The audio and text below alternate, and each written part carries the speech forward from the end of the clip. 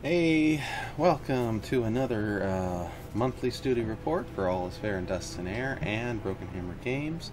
I'm the founder, CEO of the project and company. I do a lot of things for this uh, for this company, and uh, this is actually our sixth anniversary show. Woo! And it's actually uh, going to be the Fourth of July. Probably the when this gets uploaded, it should be the Fourth of July when it's posted. Right now, it's the day before. So uh, we actually have a lot to talk about this month. Um, we had some surprising um, events happen. So let's go ahead and get started and get right into it. Uh, the first uh, major thing that happened is uh, we had a breakthrough in the iOS port. Uh, this was actually part.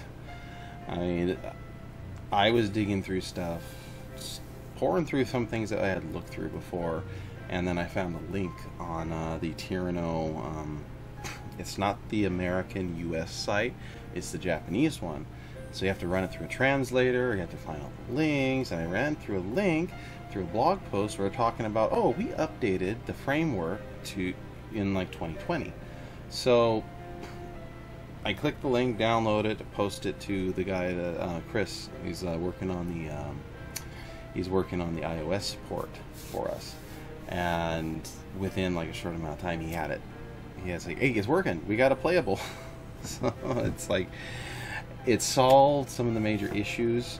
Uh, all the primary ones that were really holding us back from getting it even to a playable state that's now been solved.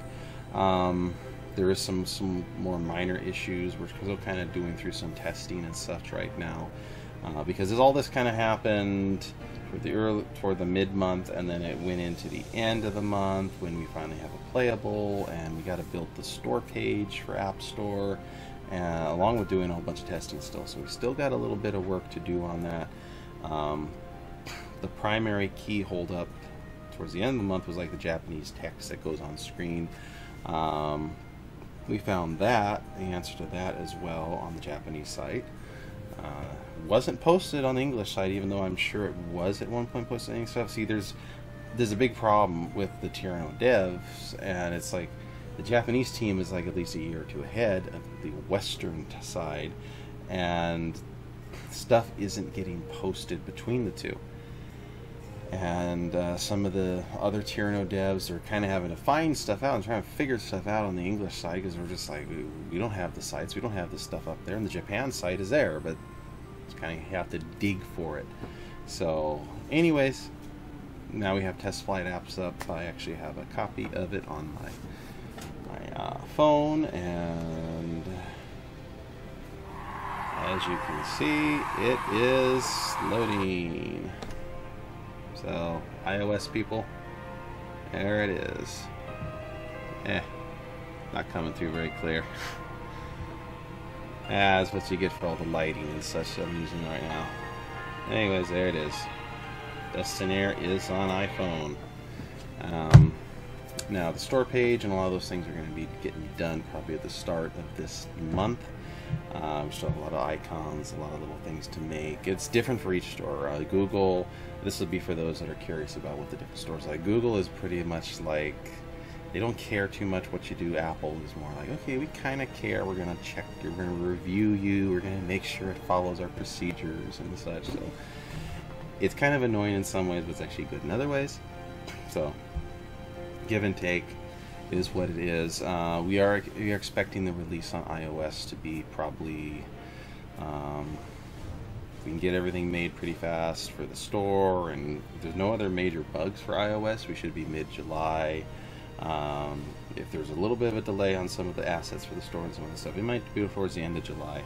I'd like to try and keep it in July, uh, going into August, because we will be doing some other things in August, but for now, at least July, August time frames, we got to test, we got to build, so it's coming, it's coming for, so iOS people, it's here, it's almost here. Uh, Mac OS should be following, um, I've already talked with Chris about this, Mac OS isn't, he's already had a Mac OS playable, at one point, so it's not going to be a major issue to kind of get that out. It's just we've been so focused on iOS because we, the system on Apple Store and doing everything because you have to get it certified. We have to be a certified dev with Apple. We have to post it. We have to do all these little hoops for Apple. So it's kind of one of those things where it's like we might as well get everything done for the iOS first and then throw in the Mac OS. And it's like, there, we're done. So um, that was the biggest announcement for the month. Um, I will be posting some notes from our Android dev uh, regarding getting the Android port up on to the Google Store. I know the Tyrano community. I said I'm going to do a video and such, and it's his machine crashed. He lost a lot of data. He had backed up other stuff, but he didn't have that stuff backed up, so he's kind of had to kind of recompile, refigure out things again. Um, so I'm just going to go ahead and post the notes. I'll post what he's what he's like knows how it works, how the thing flows. Hopefully, it's going to help somebody, give somebody ideas. Um, also, considering posting this on our website and doing like a little guides section for, for building with Tyrano and um, a lot of those aspects there.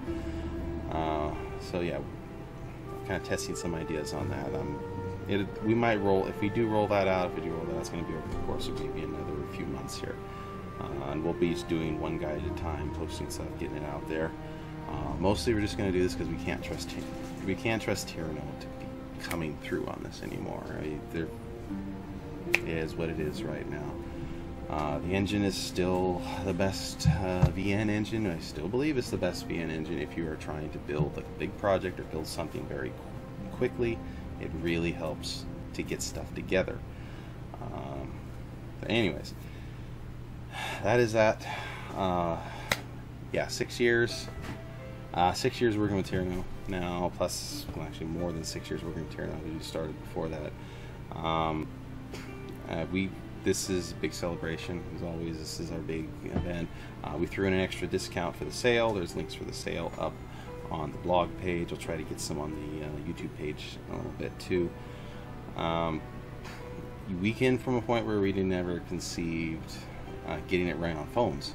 Our focus was on pretty much um, Windows, PC, maybe Mac OS. We weren't thinking too much about phones until it's like, well, we can do it, so let's go ahead and do it. Um, yeah, just for those of you that don't know us, those of you that haven't followed, those that are joining me for the first time, yeah, we're we're just a bunch of Guns of Icarus players. We're just a bunch of guys that really, really love the game, and we had an idea to make a visual novel, and you said, "Do it!"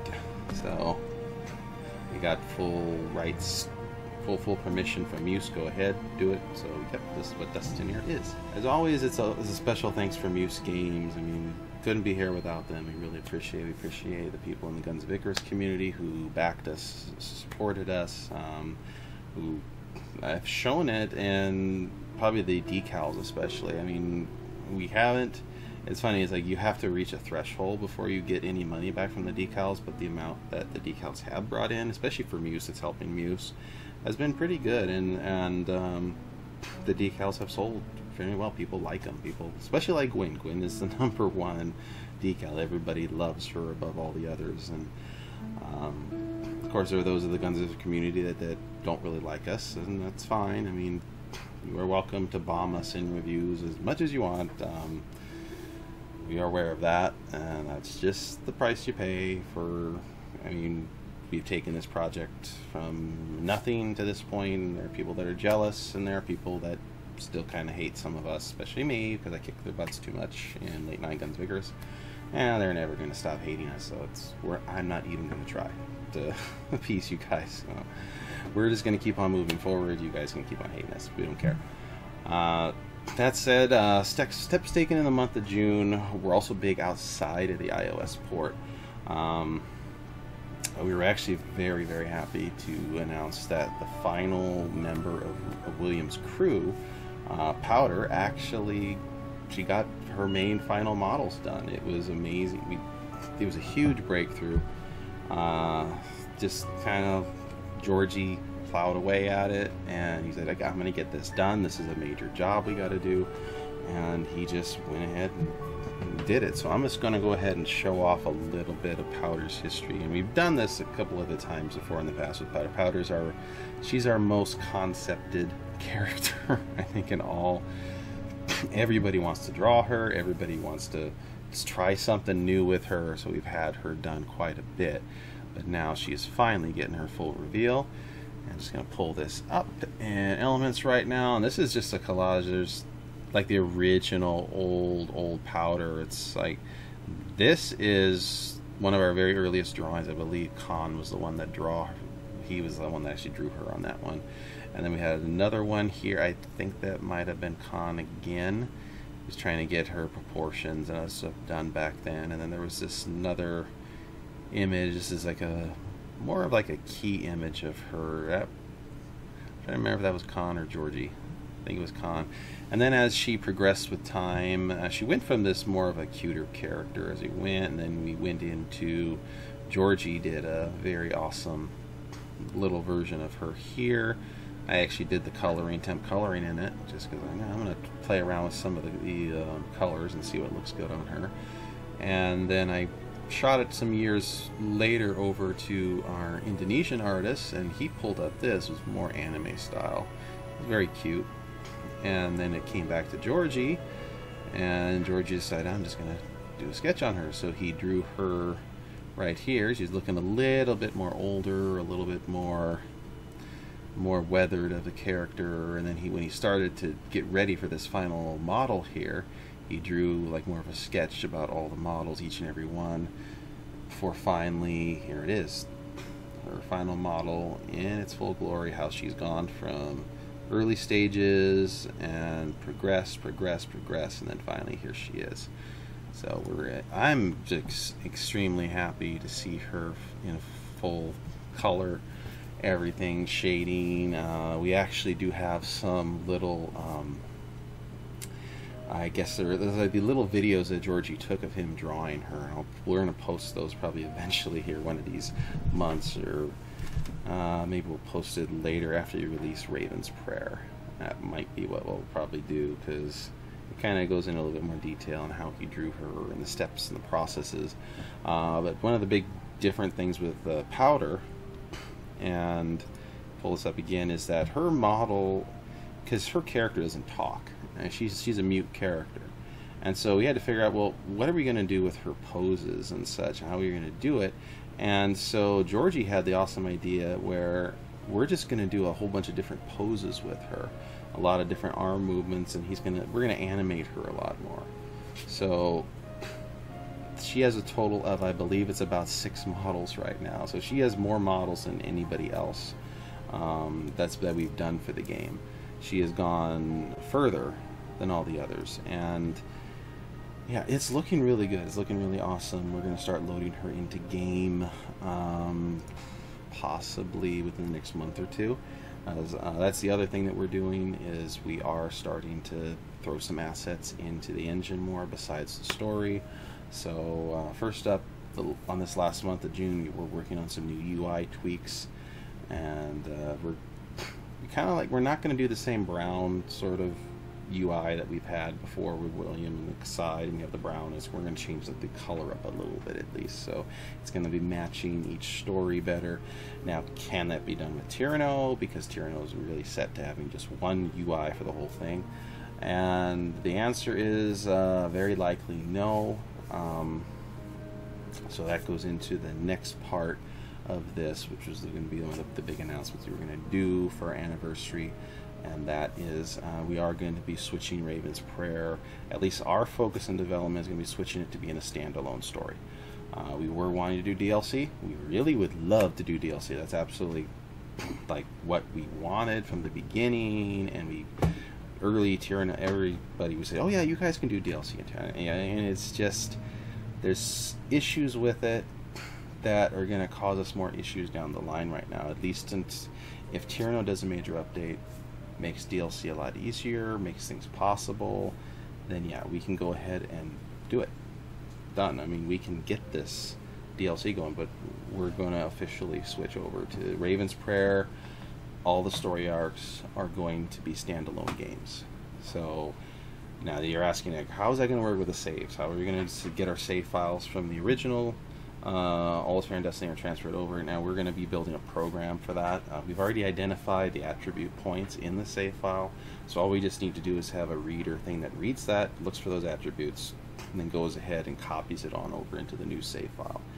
So that will be the plan going in for Raven's Prayer. At least we're going to have the attributes copied over so that when you start, you'll probably have a selection choice like do you want to bring over your prior choices? Do you want to not?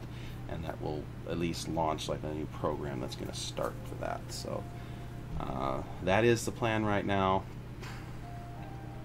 And uh, we still have to do a bit of testing once we get to that phase, especially in how the save file works. That's not going to have any issues. Uh, we're not expecting any since all we're going to be doing is copying attribute points. So uh, once we get to that, uh, we will keep everybody posted on how it goes. Um, is there a possibility for us? The other thing that's kind of come up that ties into this is that is there a possibility that we're going to change engines later? Uh, yes, that is a possibility. That is, of course, a possibility. We're going to, we're, going to probably change engines mostly because um, all the issues with Tyrano, and if Tyrano decide, or not, not really Tyrano, but if the Western publisher decides we're not going to do anymore, we're just going to drop support, we just give up, or we're going to throw in the towel. Even though we don't want them to do that, we are upset with them, but we don't want them to do that. Now there is some hope um, for Unity. Uh, now, this is another thing that we found when we dug into the Japanese site. We found out that Tyrano's Japan team has been working with Unity and, and bringing something over called Joker Script. Now, Joker Script is like, it's kind of like they're trying to port Tyrano Script over, and they're trying to make Tyrano Builder within Unity so that there's a Unity plugin called Tyrano Builder. You could just build your VNs in Unity. Now, that is actually extremely promising. Now, if that happens, we will definitely be porting Dust and Air, everything over to to Unity because Unity offers us a lot more flexibility on porting platforms on where we can get the game released on. We can actually even release it on the consoles. Uh, that is one of the huge things if we do go there. Um, until then, I mean, anything can happen this year or the next year. We're just going to keep on plugging away on Raven's Prayer. Um, we can only speculate what's going on with uh, new media and Tyrano. We don't know. Uh, they're they're they've gone dark. They're not talking, so we'll see. Uh, the one advantage of having a project 2 is is we can start doing some of these other engine stuff on project 2 while we work on project 1 so that is one thing that project 2 likely will be ren'Py or it's going to be unity or something. I'm gonna we're gonna be looking at joker script a little bit more for project 2 so we'll see on that. That is a possibility. Um, now, the release of these, all this stuff, these are the standalone, um, all this content, how is this going to work? Now, there's another reason why we want to do standalone and why we also want to do DLC, because DLC we could roll out things a little bit at a time. But now that we can't really do DLC that way, or at least it's not, it's going to be problematic. So, because we can't do that, too problematic, we're going to standalone. What we're probably going to be doing, we I don't really want to do this. I don't want to go back to early access and anything, but for the story arcs for each thing, we probably will. Uh, that's the direction that we're going in right now is going to early access, and uh, future story arcs are going to do the same thing. Now, what we'll do is we will, and this has been talked about before, we will have a low intro price on it uh, for the early access, and then as we finish content, the price is going to go up and up and up as we add it. Um, Ideally, what it is is like we'll we'll have that, and it's also going to advertise the original Dust and Air Cathedral arc, and then we'll kind of like work with the two, and eventually, as as the prices go, we'll, we're to shift some of the pricing on some other things. But uh, look forward to that. So if you are original backer, you are going to be getting, of course, the story arc. You're going to be getting Raven's Prayer. So no worries on that. It is going to, but we will get keys to you when that time comes. Uh, for those that got the initial story, so this is the thinking that we have right now, is that if you bought the initial story and we're going to get that save file transition working, you're going to get bonus scenes. So if somebody just buys Raven's Prayer outright, they'll get probably maybe 90 95% of the story, or maybe however much percent. They're going to get most of the story, everything that matters, but they're not. They're going to miss the bonus scenes. Um, now, there's another way we could potentially do that, which would be maybe lock a certain type of ending so that you have to get the original uh, Dust and Air Cathedral arc to be able to get the bad ending or whatever. I, that, yeah, I'd rather just do bonus scenes, but we'll see as things go. Uh, of course, future story arcs are going to follow that same style as we go. Um, uh, PC releases will be coming first on that. Uh, we're not going to force things on the phones super fast just because we've had a lot of issues on the phones. And uh, so we're going to have to see on that how we're going to do it. We may change something up for the cell phone port. Uh, just because of all the issues that we've had on that, but we'll see. We'll see. We'll keep you posted on the, how that goes. All that said, I mean, this is this was a big anniversary post. This was a big blog. Uh, a lot of stuff happened during the month of June. A lot of great stuff. Um, uh, we have a lot of assets to still get done, a lot of work to still do in Raven's Prayer. So going into July, we're going to be hammering away just like we have been one after another. Um, it's just been huge getting getting powder done, getting powder there to this point. Now we have the crew, Williams crew. We have Fergus. We have Powder. We have Raleigh. The whole crew is there, and that fills literally those three getting done. That fills content for like every single story arc right now. Has at least some character modeling content done because those characters are prominent in every single story arc. So that's huge. Uh, this is this is a huge, huge, huge day, huge moment for us to have this the crew done as we move in. Uh, Raven's Prayer still has a still a few characters to kind of tweak, to kind of do. Uh, plus the background, the uh, Eddings Cove Cityscape became another advancement on that. Ugh, I'm running on and on and on. I'm sorry here. We did have another little move forward on that with getting the Baron's Mansion, some other little factors done on there. So uh, there's actually a teaser behind me. That's actually the the big Baron's Mansion shot, but I'm going to keep it hidden behind this for now, just as I don't want to tease everything yet. Oh, all right, that's it. Long vlog. Thank you for sticking me with me to the end here. Uh, thanks for joining us again. I uh, look forward to the next month. We'll be doing another full report, full vlog. Um, hopefully, we'll have the iOS port done by then and released. So, and thanks for joining. See you in the skies, Jenny.